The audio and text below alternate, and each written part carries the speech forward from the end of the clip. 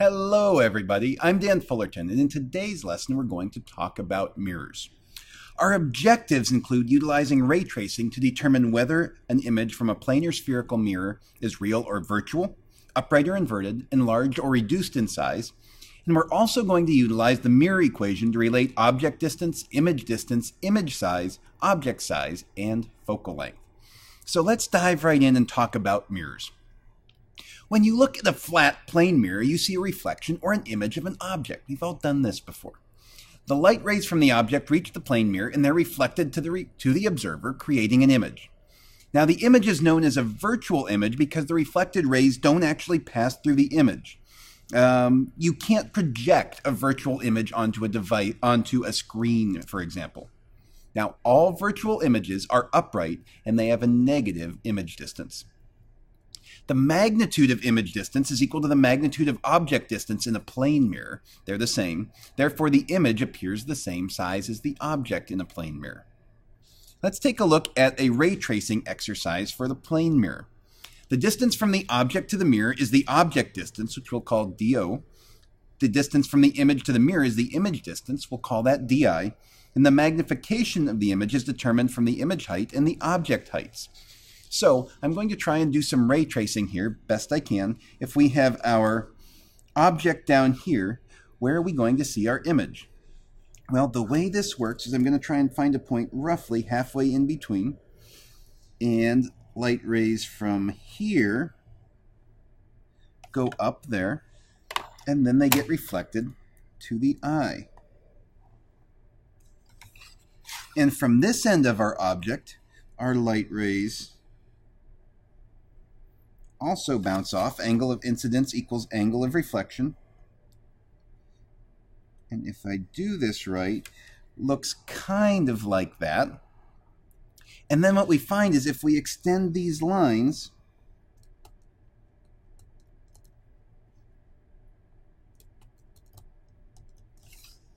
if I do this correctly, hopefully we get our image over here where this height is the image height that should be the same distance from the mirror, DO compared to DI, and we can find the, mag the uh, magnification from M equals minus the image distance over the object distance, which is also equal to the image height divided by the object height.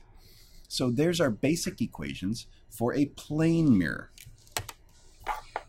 Now, there's a little bit more to the story. Let's take a look at some sample problems. A student stands two meters in front of a vertical plane mirror. As the student walks toward the mirror, the image does what? Well, decrease in magnification and remain virtual? No, magnification remains the same in a plane mirror. Well, that eliminates B there as well. Remains the same, magnification, and remains virtual. Yeah, that has to be the answer. The image stays behind the reflecting surface, and the magnification of a plane mirror is always going to be 1. Let's take a look at another example. Which diagram best represents image I, which is formed by placing object O in front of a plane mirror? Well, we're going to have an exact reflection, so that can't be 1. Ah, 2 is looking pretty promising. 3, nope, that's uh, not right. That's not a mirror image. And 4, that's not a mirror image either. So our best answer here must be 2. Well, we can also have spherical mirrors. Those are mirrors that are shaped like spheres, or at least portions of spheres. The inner surface of a spherical concave mirror is reflective. We call these converging mirrors. And the outer surface of a spherical convex mirror is reflective. These are called diverging mirrors. Now, the focal point of a spherical mirror is half its radius of curvature. So the focal point, the focal length, is going to be the radius divided by 2. Let's take a look at how this looks with ray tracing for a concave spherical mirror. Light rays coming into a mirror parallel to the principal axis are reflected from the plane of the mirror and converge through the mirror's focal point. Let's try drawing that in blue. So we'll make a note here that this is going to be blue, little dot, and let's see. What we have here is if we have a light ray coming into a mirror parallel to the principal axis, it's reflected from the plane of the mirror and it converges through the mirror's focal point. So let's bring this one in from our object, draw it parallel to the principal axis. And if we do that, it's going to reflect back at a 90, at, uh, pardon me, it's going to reflect at the same angle of incidence that came in, and it's going to go through the focal point. So that should look kind of like that. There's our first ray. Now, light rays passing through the center of curvature are reflected back through the center of curvature. So that, let's draw here in pink, through the center of curvature. Well, if we want to find the center of curvature, that's going to be twice the focal point. So if that's a couple centimeters there, let's say that that's roughly over here to our center of curvature. So what we would see is this ray, as we draw it, goes down, strikes the mirror, or where the mirror would go, and then it's going to come back. And finally, let's take a look at our third ray. We'll draw that in green. Light rays from the object passing directly through the focal point are reflected back parallel to the principal's principal axis, kind of the inverse of this first rule for light rays. So this one goes through the focal point on the way in. Let's draw that and it's reflected parallel to the principal axis on the way out. And you notice that all three rays converge at the same point. That's where we're going to have our image. So our image is going to look like that in this case. There's our image. Notice that it's real and it is inverted. We have a real inverted image.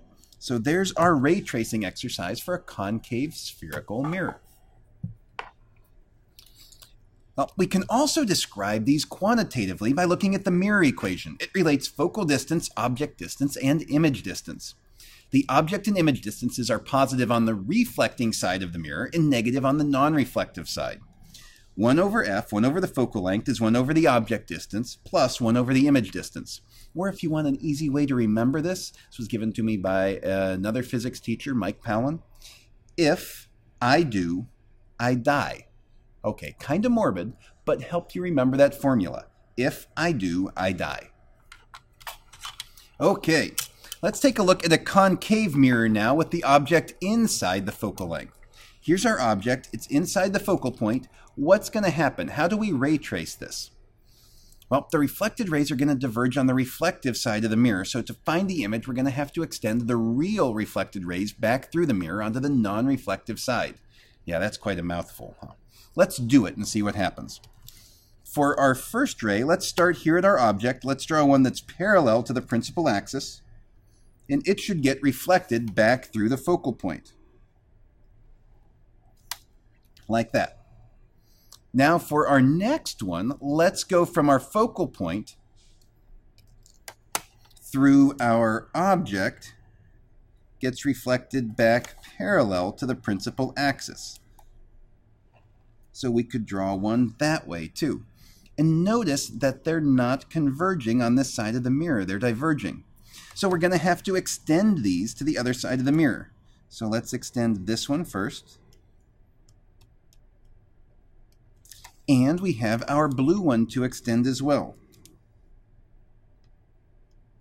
And here's where they cross, where they converge. That means what we're going to have here, if I draw in my image, there it is, we have an upright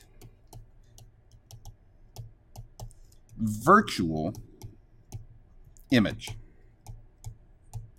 The convergence of these extended rays is what leads us to this upright virtual image. So that's what happens with the concave mirror when the object is inside that focal point. Let's do a couple examples here. An incident light ray travels parallel to the principal axis of a concave spherical mirror. After reflecting from the mirror, the light ray will travel through the mirror's focal point. Oh, absolutely. That's one of our rules for drawing these, these rays, this ray tracing. Light rays parallel to the principal axis are reflected through the mirror's focal point. How about convex spherical mirrors, though? Well, light rays coming into a mirror parallel to the principal axis are reflected away from the principal axis on a virtual line connecting the point of contact with the mirror plane and the focal point on the non-reflecting side of the mirror. This will be easier to show than it is to understand in words. Light rays striking the center of the mirror are reflected at the same angle, of course, and light rays never converge on the reflective side of a convex mirror. So convex mirrors can only produce virtual images that are upright and reduced in size. Let's take a look here. If we have our object in a convex mirror over here on the right, let's do our ray tracing. Our first ray, we're going to draw parallel to the principal axis. So let's see if we can't do that here.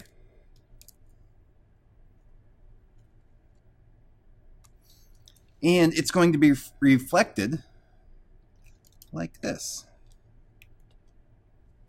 But I'm going to extend that back so that it passes through the focal point there. So there's our first ray. Now our second ray, I'm going to draw as if it's going to hit where this crosses the principal axis.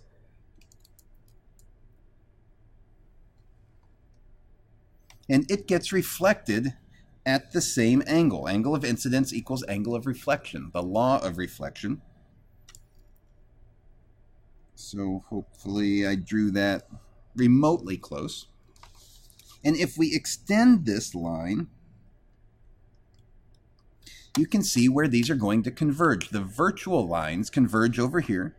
So we would have an image, a virtual image, that is upright over there. The image is virtual and it is upright. So let's do a sample problem here with diverging rays. Which optical device causes parallel light rays to diverge? Well, we've got a couple choices here, but the convex mirrors are also known as diverging mirrors for exactly that reason. They cause parallel light rays to diverge. How about one with focal length? The radius of curvature of a spherical mirror is 20 centimeters. If an object is set 15 centimeters from the mirror, what is the focal length of the mirror? Well, focal length is half the radius of the mirror, so that'll be 20 centimeters divided by 2, or 10 centimeters. All right, another problem. An object arrow is placed in front of a concave mirror having center of curvature C and focal point F.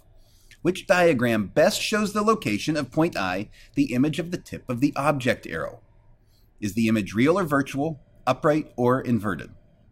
Well, let's take a look. Which one of these has the right ray tracing for a concave mirror?